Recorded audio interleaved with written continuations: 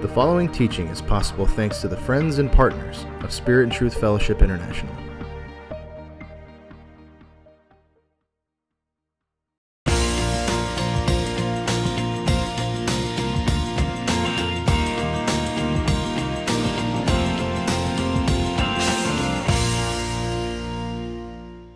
Well, welcome back to our seminar on God's foreknowledge and how God relates to mankind.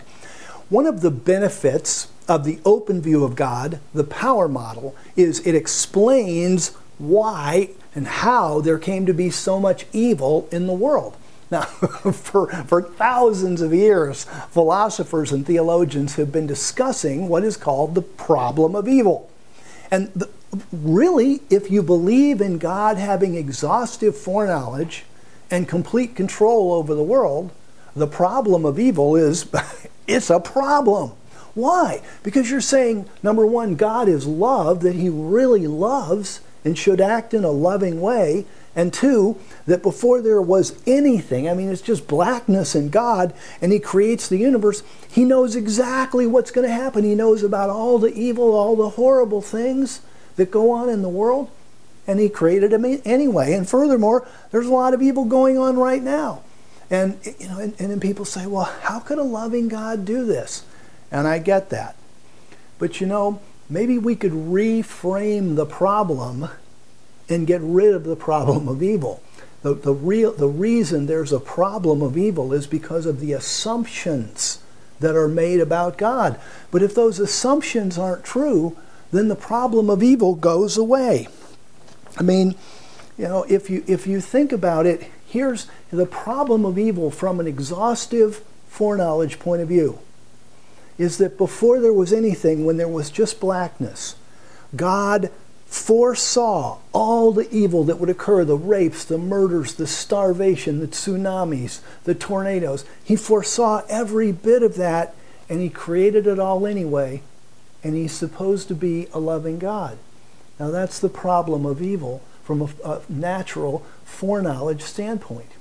The open view of God says that when God created the heavens and the earth, he created genuinely free will beings that made genuine decisions on their own, and God didn't know what those decisions would be. He knew the potential that people had for evil, but he didn't know that they would actually do that. And he and honestly, the way he created people, and he's always been so good and so righteous, why would so many people turn against him?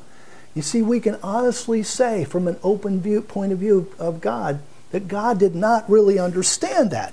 Now, obviously, the knowledge model of God's been around a long time. People have had a long time to think about this. And so the first objection to the open view of God in this category of the problem of evil is well, God didn't create the evil act. God created people with free will, and they did the evil act.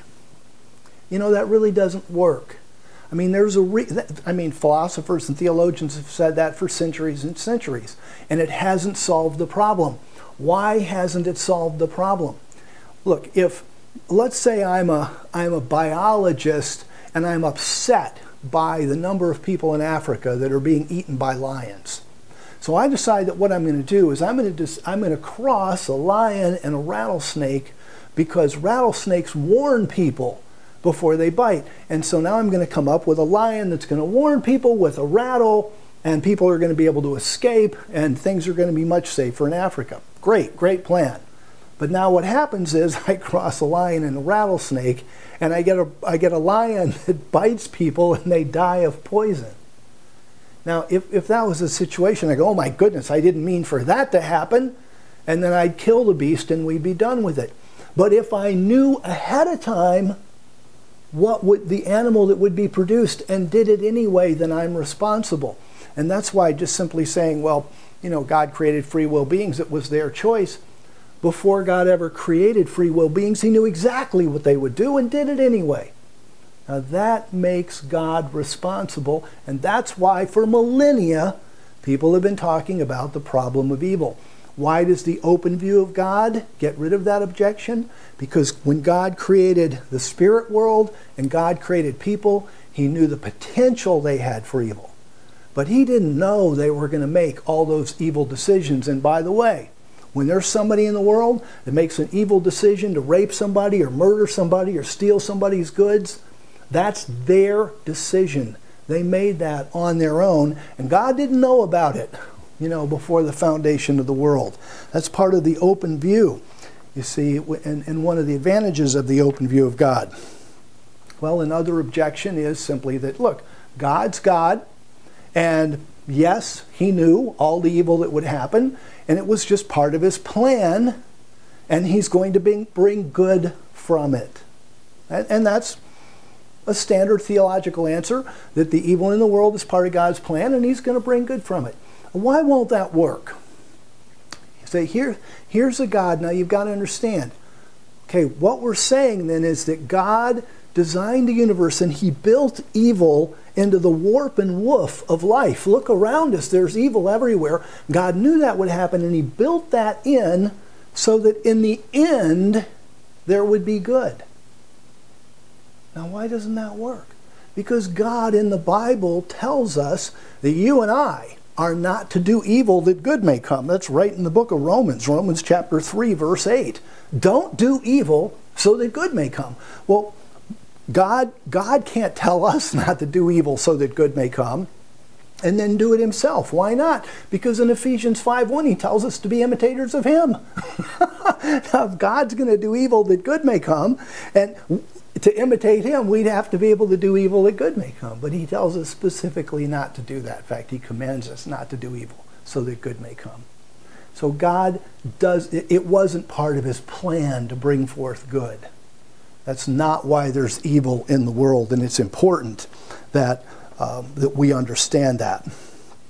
Well, then it's also stated, well, you know, God couldn't have made man any other way. You know, God, his, he knew in his foreknowledge what mankind would do, but he couldn't create him any other way. We're going to deny that. I, I simply deny that assertion. I think that if God really genuinely foresaw all the evil that would occur, he is love. He really is. He is love. And he is good. And he would have done something different if he really genuinely foresaw all of the evil. And in fact, later on in the seminar, we're going to, in other sessions, we're going to read verses where God said he didn't know. And those are some of the prime verses for, for our case. Absolutely. So these are some of the reasons that it's important for us to understand the open view is that, that otherwise I don't understand God like so many theologians. I don't understand God. Why is the world so evil? The open view of God allows me to understand, wow, I understand why the world is so evil. Now, another thing about the open view of God is it is the way God says he works in the Word of God. Now, this is. this is unbelievably important because here's the book. This, this book, the Bible, is what I'm supposed to be able to read and then find out how God works. So if I open up and I read it, do I read the knowledge model that God says, I predict the future because I know everything? Or does God say that he uses a power model? And the fact is, he uses a power model. Now, we've already read some verse to this effect in Isaiah 46.10. But here's Isaiah 48, verse 3 and the this is Holman Christian Standard Bible, and God says, I declared the past events long ago. They came out of my mouth. I proclaimed them. Okay, here's God predicting the future. Suddenly I acted and they occurred. That, you couldn't have stated the power model any better than that. God says what he's going to do, then he waits until the time for the prediction is to be fulfilled, and then he acts and they come to pass. One of the, why would I believe in the power model? Because I think that it's clearly the model that is described in the Bible. And as I said, as we opened this session, you know, the power model is the only way I've ever seen, and I've studied this for years, to truly understand how there can be evil in the world around us, but God didn't know about it and he certainly didn't design the world this way.